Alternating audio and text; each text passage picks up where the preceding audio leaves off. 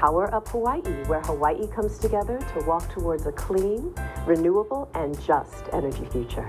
I am your host, Raya Salter. I'm an energy attorney, clean energy advocate, and community outreach specialist. I'm also the principal attorney of Imagine Power LLC. Got some exciting stuff today. Uh, we always say here on the show that it's important to engage all stakeholders in the energy conversation, including those who may not be traditionally engaged in energy policy.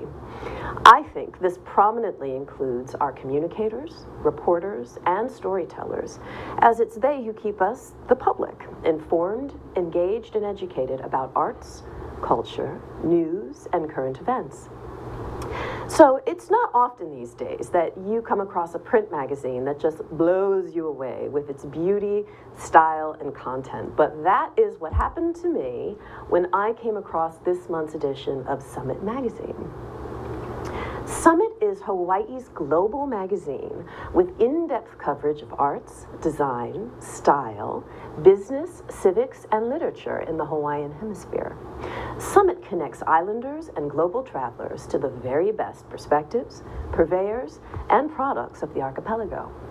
I'm pleased to have with me here today Ikaika Hussey, the publisher and editor of Summit Magazine, with us here in the studio today. So Ikaika resides in Kalihi and is a longtime leader in the community in a wide variety of areas. He's on the board of the Domestic Violence Action Center and the Hawaii Alliance for Progressive Action, just to name a few. Uh, Ikaika is a teacher, author, and thought leader with, in his words, the common goal of strengthening our island home. Ikaika earned a master's degree in political science from the University of Hawaii at Manoa and is currently studying economics via the University of London and the London School of Economics. So with all of that said, welcome Ikaika. Thank you, Raya. So, Summit Magazine, I think, is just it's just gorgeous. Thanks. Um, I just, you know, I hadn't come across it before, um, and I was just so blown away by the um, just the intriguing content, the um, the beautiful pictures, the fashion and style, and yet still this really deeply intellectually engaging um, um, approach, global approach. so I'm just so excited to have you here to, to talk a bit about the magazine. Thank you. But first, before we do, maybe you could tell me a little bit about yourself um, and your background and how you came to become a magazine publisher. Sure. Well, uh, I came to media from through a very unconventional path. I, I, came to it as as a person who had to often, often talk to the media about uh, things that are happening in the grassroots community, and so I come out of sort of an organizer community. Um, activism background. Fantastic. And what kind of what I'm hearing you, a lot you know, of, engaging with the news. What what type of stuff were you? Uh, sure, a, a, lot of things in the Native Hawaiian community: self-determination, sovereignty, demilitarization, um, land rights, kind of basic human rights things, and it was often my my job um, within our various hui to, to be the person who would go and talk to the press. I would write the press releases, I'd create the flyers and do that kind of thing. And what I realized was our press, our, our media have an incredibly important responsibility uh, and, and a lot of power. And, and it could be used it could be used for incredibly wonderful things. Um, my, my concern is, you know, when I first started uh, Summit and the Hawaii Independent was was that oftentimes Native Hawaiians were treated sort of as the problem. You know, it's like, why are those guys, why are those Hawaiians uh, protesting? And um, the fact that we were protesting was, was the problem as opposed to the issues that we were protesting about being the problem. So I wanted to, to flip the lens a little bit and to speak from, speak about the world from a Hawaiian perspective instead of uh, having media that just covers Hawaiians. So I wanted to tell a very different kind of story than, than what was available uh, in the in the media of, of, the time. Wow, that that is so interesting. Is sort of what I'm, I'm hearing you say. Is sort of the problem was speaking out. You yeah. know, if only they would be quiet. That's what I'm hearing you say is and not talk about these right. things. And so you were like, let's go ahead and and talk about these things authentically right. is what I'm hearing. Right.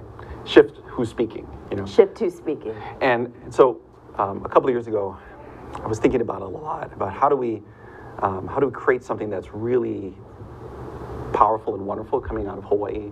I wanted to speak to a more global audience um, from a, very, a distinctly Hawaii and Hawaiian point of view. And it's always been rattling around in my, my mind this, this quote from Queen Kapiolani, who was the spouse of David Kalakaua, the last king of Hawaii. And it was during a time when Hawaii was very much a global place. Uh, it was much more cosmopolitan and had a very kind of modernist perspective and orientation, much more so than it than it did in the in the 20th century. Mm. Um, and her motto, Kapiolani's motto was Kulia i ka nuu, which means strive for the summit. You know, try to achieve the very best that we can as an island community. And I think that's a neat idea. Uh, and so my, my goal with, with this particular publication is to, to try to elevate expectations for what Hawaii can be in this 21st century, to showcase the amazing people who are doing great things in media like, like Think Tech, or in fashion, or in culinary arts. Um, you know, show that we really have a lot to offer the world. And so that's about 60, 70% of the magazine. And the other 30, 40% is um, kind of straight up international politics and business. So we cover big ideas that are driving the world right now, like the idea of a universal basic, uh, basic income, which they're which contemplating. We'll talk some about later, right? so, which is which is so interesting. Yeah. I hope so. yeah. You know, no, I, well, I think it's interesting. I think folks um, watching will as well. So, how, just, I'm curious. So, how did you go from, uh, you know, the, you know, writing the press releases to sort of, you know, having this, you know, international, you know, magazine? Well, you know, thankfully, we live in a, in a time when um, a lot of the effort that it used to take to create a publication has been, um, mm. it's, it's, a lot easier, you know, mm WordPress and, and um, Amazon Web Services and all of the, the kind of readily available technology that the internet has offered to us. Um, I started doing websites when I was like 17 or 18 years old in high school, mm. and it was very much you know, tinkering around mm-hmm. with creating um, creating really simple websites. Uh, so I launched um, an online news website called the Hawaii Independent in 09, 2009. Oh, wow, okay. Uh, I can remember just because my daughter was born right as I launched it, and I have this crazy habit of starting businesses when kids are born. it's a very bad idea.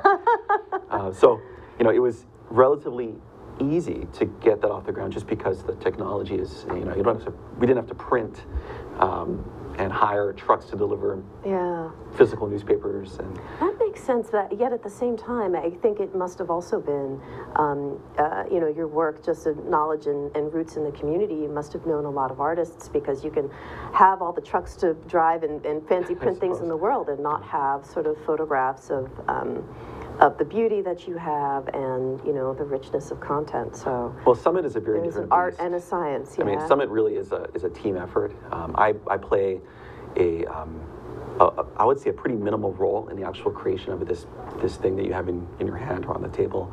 Uh, we have an excellent art director and an excellent you know managing editor who really make the magazine happen, um, and, and copy editors and writers who who put you know wonderful thought into their words. Um, I just help with like I literally drive the magazine around, and show it to people, and try to set up the the revenue so that it can keep going. Well, um, always in a very important function. Yeah. Who's who's the audience for Summit? Who's the audience? So, we have um, our core demo is sort of 35 to 45 year olds. So, like you know me. it's always easier to when you create something for someone that you that you know well. Um, so I happen to be right in the middle of that, that demo. Uh, broadly speaking, we're sort of 35 and up, um, mass affluent. So not quite the 1%, but you know, people who um, are professionals, they're business owners, they're deeply engaged in the life, in our civic life. Uh, they, um, they may themselves have significant assets. Uh, we, and we certainly have a lot of readers with, with who are very affluent. Um, I feel like I want to be in this demographic. Me too. and so th- that's you know that's sort of the the age and income distribution, and then geographically, we're writing for an audience that's here, mm. but also an international audience. So we have readers in Japan, we have readers, um, we have readers all throughout North America. uh, I have a subscriber in Slovenia that I need to send magazines to, and you know, so that's where uh, it's ironic now that I'm printing a physical magazine because then we have to deal with the logistics of moving this, you know, 200 pages of, mm-hmm. of paper around the globe. Um, while trying trying as best as we can to mitigate the carbon impact, which we should talk about. Of course, of course, and that's you know that's sort of a you know always an issue in Hawaii of yeah, um, sure. shipping. Uh, shipping. and yeah. you know absolutely and wanting to to you know uh, cultivate interest in local things and having right. to somehow still needing to to I'd like to think carbon impact notwithstanding, but you know, com things coming from this direction to the mainland. I mean, that we want to increase that. Yeah. I would think, especially cultural and intellectual content. Sure. I mean, part of our our orientation is that um, is that this is our mainland. Like this is this is the center of our world, and so from this this particular locus, uh, we can then speak um, about what's happening in Asia or North America, South America from from our perspective here in Hawaii, and it, you know it's a very different way of thinking about the world. Um, on the other hand, I consume a lot of media that's produced, for instance, in New York City, uh, and I'm always struck by how writers in New York City assume that everyone knows New York City. They talk about the geography of New York City as if it's um, the, the daily commute of everyone in their listening audience. And it's not, of course. No, of course it's uh, not. Uh, so I, I, don't feel bad about insisting that our point of view should be from Hawaii. But, um, and you know, at the least, it's, it's a very interesting way of, of seeing the world. It's, it's different, which is when you're creating a product nowadays, it's all about being different. It's about creating something that's differentiated from everything else that's out there. Oh, well, I, I, I would agree. That sounds like good advice to product creator. And so why don't we go ahead and talk a little bit about how the magazine's structured and, and why? So, you know, I know there, there may be some variation, but I know this, we have lifestyle, arts, industry, commons, teaching for tomorrow. So, you know, how you sort of put this together, I'm sure, you know, illuminates those perspectives. So, sure. why did you decide to sort of break the magazine up in this way?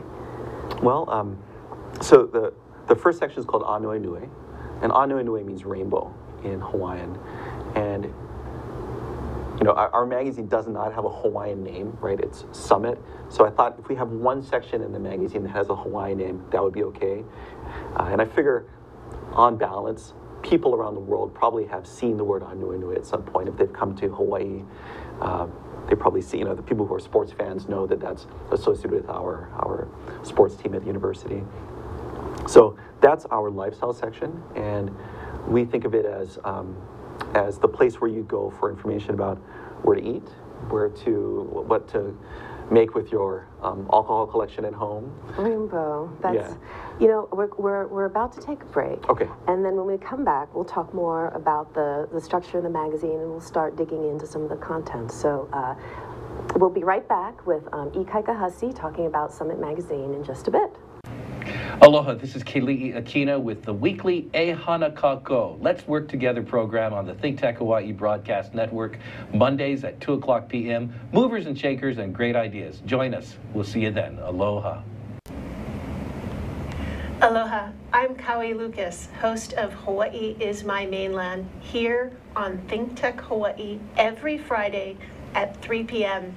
We address issues of importance for those of us who live here on the most isolated landmass on the planet. Please come join me Fridays at 3 p.m. Mahalo. Aloha. My name is John Waihee, and I actually had a small part to do with what's happening today. Served actually in public office. But if you don't already know that, here's a chance to learn more about what's happening in our state by joining me for Talk Story with John Waihee every other Monday. Thank you, and I look forward to your seeing us in the future.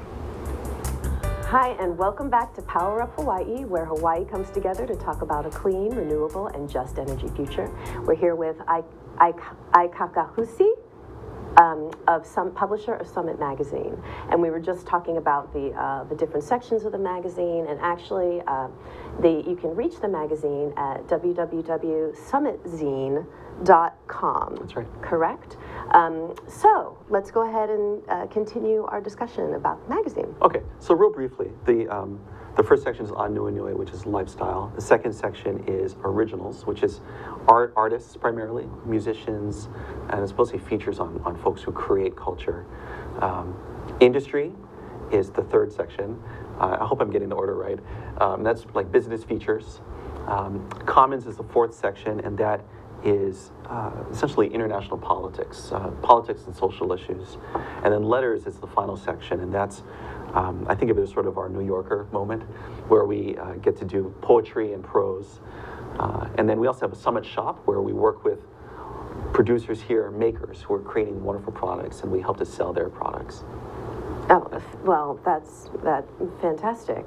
Um, I just, again, I think it's really important to talk to folks who are purveyors of um, perspectives and cultures because if energy policy folks don't sort of engage with the, you know, uh, the thought leaders and let uh, let you guys know that what you do is important to us, then you know how can we expect you to come to us and talk about how what you do is, uh, you know, about we do can be important to you? Of course you know, in Hawaii, everyone knows we've got a 100% renewable energy goal, and I know there's a great piece this month that um, folks might be interested in about um, solar hot water heaters and the need to sort of think of them as being cooler and sexier than we may usually think about them because um, uh, they are a real solution and something that can be an answer um, in a way also for low to moderate income folks to participate in energy. So thank you for covering that. Sure, and it, I should mention that it's a it's a piece that we did on Shifted Energy that's in partnership with Yes. with the Energy Excelerator, which is So doing great actual- work yes. in really pushing the um, you know pushing innovation forward, which we desperately need. Yes, absolutely. Um, so I'd also like to talk about a couple of the other articles that I found to be just so fascinating. So one of them um, is called Mana for the People, and it's sort of it's a historical look back at the um, Polynesian Panther Yes. movement. Yeah. Could you talk a little bit about that? First of all, sort of how did you come across this topic, and why did you decide the you know to go ahead and bring that forth in Summit? Sure. So it's a story that was brought to us by one of our contributing writers uh, based in Australia, um, and you know, I'm as, as a student myself of, of social movements, um, I've always been fascinated with how social movements are adapted and kind of spread all throughout the world.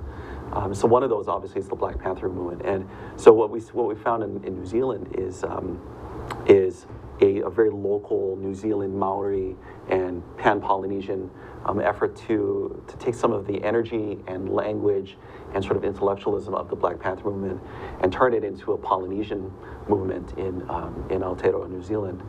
Uh, and I should mention too that there's you know, there were also uh, similar things happening here in Hawaii during the same time period where, you know, folks were, were following what was going on all, all around the world, you know, um, and, and building social movements that, um, that copied either the affect of, of things like the Black Panther movement and also a lot of the substance, a lot of the, a lot of the thinking behind, um, you know, what, what, uh, what was going on in like Oakland, for instance. Why do you think that that particular, um, I guess, Black American and Caribbean cultural message resonated um, amongst um, folks in the in the Pacific? Oh, that's a good question. Uh, I think you could make an argument, uh, and I'll just say it. I'll make the argument that the black culture in North America and the Caribbean has has really been the uh, the most creative um, wellspring of culture for for like our modern age. You know, if you look at um, all of the cool stuff that's come out of come out of the United States, right? It's you have jazz, it's the blues, it's hip hop, it's rap. You know, it's, it's all these things that have come out of out of um, black culture, and and to me, I find it very inspiring because it's really about um, a group of people who, you know, history should have could have written them off, you know, and that group of people taking things that were forced on them and then turning it into the uh, the tools of their own liberation. It's really a beautiful. I'm sort of getting emotional. It's a very beautiful, uh, you know, his, historical uh, trend that's happened. And it's a very beautiful thing. And um, I guess the, the seeds of that sort of wellspring, I mean, it, it's sort of culture um, and also the, the social movements and the so, social activism and the stories of oppression, um, I guess, helped create this diaspora of of, I, of resistance, or I, I, don't know what to call it, but there's something, uh, was it the music, was it the afros, something resonated, you know, and per, I think perhaps still resonates today, something, you know, it, you know, when you look at the pictures, and I'm sorry I don't have them to share, you know, it's sort of a, it seemed like such a natural overlay, you know, you, you hear about this person, you know, in New Zealand picking up, um, you know, Huey Newton's work, right. and, you know, you know, wearing a beret, mm-hmm. putting on a jacket, and it just sort of, you know, that the overlay is almost kind of seamless. And, and what they decided to do in terms of um, helping young people with homework and, you know, having, you know, working with after school, like, was also very similar. It just, it seemed kind of seamless. I mean, am trying to get at what kind of resonates. I mean, I think part of what's going on in that particular, um, in that particular episode that you're describing is, is that we all, you know, everyone in sort of the English speaking modern world, um, we all sort of live in one culture, right? And it's a culture that is broadcast out through Hollywood and, um, and, and so everyone sort of shares in, in what's happening through this mass English language culture. Um, and as a result of that, the cultural minorities, like even you know in Hawaii, Native Hawaiians are are a minority of sorts. In Aotearoa, New Zealand, even though they're, I don't know, some large percentage of the population, I don't know the exact number, but Maori are still treated as a minority in that community, in that, in that country. Um, what you have then is this situation where you have this kind of monolithic uh, English language culture, and within that monolithic culture, black culture is is sort of the other, but it's a very powerful other. It's it's an incredibly vibrant and um, and powerful and creative uh, space where where liberation can take place. And so I think when that culture touches places like New Zealand or Hawaii, it becomes a place for all the folks who don't get to be, um, you know, the white man at the table. We all get to play within the black culture because it's so accepting and we can all find a voice there. So if you look at in, in Hawaii, you have like the um, the, the movement, uh, I think of guys like um, John, uh, John Prime Hina, who's mm. leading the 808, you know, the 808 murals, um, Urban 808, excuse me, the Urban 808 group. And they're working with kids who are using sort of the, the visual language of hip hop, the visual language of, of street art, uh, of aerosol art to, to tell their own stories because that is an available medium. You know, they can't find a space in the white dominated culture so the black culture is actually a an accepting place. That's so interesting. And the and the article talks about how it, you know in this uh, Polynesian Panther movie uh, movement in the '70s, it began to become a um, a, a pan Polynesian, pan Pacific, you know, sort of diaspora, sort of a, a movement to unify the diaspora, mm-hmm. um, and reached out to you know movements in South Africa. Um, so um, yes, I mean, in that we are all African in one regard or another originally. That's it. And I was going to ask, um, you know, I know. So you, this is in the current um, issue. So what, if and how do you think, you know, this topic is important today? Well, just off the top of my head, um, we live in incredibly interesting times. yes. Right? Yeah, we do. Uh, we do.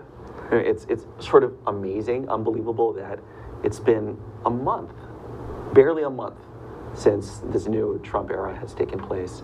Uh, but it's a, it's a time where so many social movements are in communication with each other mm-hmm, and are able mm-hmm, to find mm-hmm. support and love and solidarity with yeah, each Dakota other. Dakota Access Pipeline, yeah, exactly. Hawaiian Sovereignty, right. Black Mauna Lives Kea, Matter, BLM, exactly. You know, and you look at things like the, um, the, the, the women's the women's march yes, yes. on inauguration day. What was amazing about that for me was um, just how incredibly rich and multi multi everything those marches were so much more than like the official inaugural events and the sort of kind of monoculture that you see in, in those, in those, um, you Yeah. know, in the Trump phenomenon. You know, what's happening with the people is the people are getting together, and we need to celebrate that. All these movements, all these peoples, uh, that that coalescing is is an incredibly powerful historical trend that I don't think will ever stop. You know, it's um, in some ways it's an unraveling of of the way in which people have been divided since over yeah. the last 500 years. I say it's so interesting. I feel like we could have a whole show about that, it, that in, in terms of what's coming together and what some of the some of the, the challenges and the fissures, some for very Right. good reason. We need to talk about energy, right? yeah, well, no, like that. What I wanted to get to, I we could talk about that. We don't have a lot of time left, so what I really wanted to get to was this interesting article um, where you interviewed an economist who has an idea.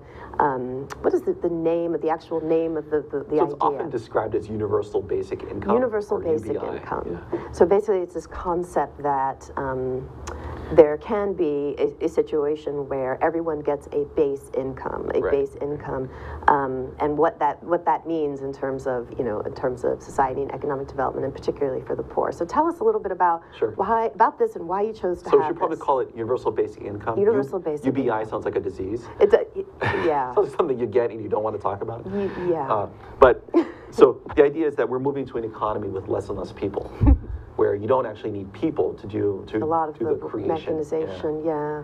Right.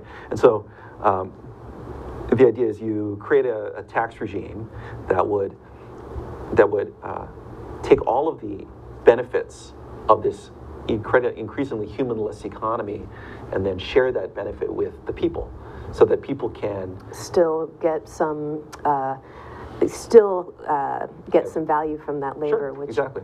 And gosh, I this is my fault for lingering, but we're not going to have as much time to dig into All that right. fascinating theory as I had hoped We'll that we would. But um, is uh, how can people find Summit Magazine? So Summit is on. Uh, we're in about 400 stores across the United States. So at most Barnes and Nobles, you can find a copy of Summit. You can also find us at the Four Seasons or um, or the Lotus Honolulu. You can find us at Whole Foods all throughout the state, and the Barnes and Noble here at Ala Moana has a copy. And um, maybe at a doctor's office or a lawyer's office too. You know, we're, we're all over the place. Or you can go to summitzine.com, which is our website. All right, well, fantastic. Thank you so very much for uh, sharing about this magazine and some of your fascinating perspectives. Thank you so much for that. Thank you. And that wraps up another issue or another edition of Power Up Hawaii. I'm Raya Salter, energy attorney, um, clean energy advocate, community outreach specialist. Um, uh, thank you so much. Mahalo and aloha.